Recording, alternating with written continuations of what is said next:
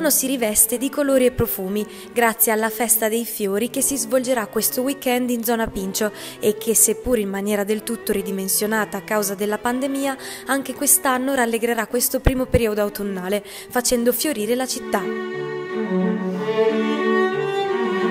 Organizzata dal Comune di Fano e concordata con quello di Pesaro, sarà un'edizione diversa dalle precedenti, che vedrà solamente la realizzazione di una mostra a mercato, rinunciando però agli eventi collaterali che avevano caratterizzato gli scorsi anni.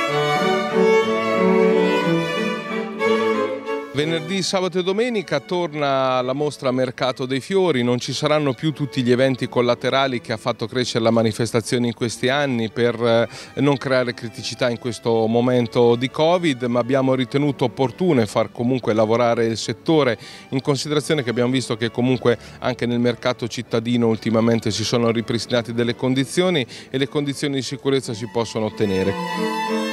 Comunque manterremo i 30 espositori che ci daranno la possibilità di abbellire le nostre case, di abbellire la città, di farla diventare eh, più green che è veramente opportuno in, in questo momento anche così difficile. Quindi realizzeremo insomma la mostra mercato con gli standard di sicurezza necessari.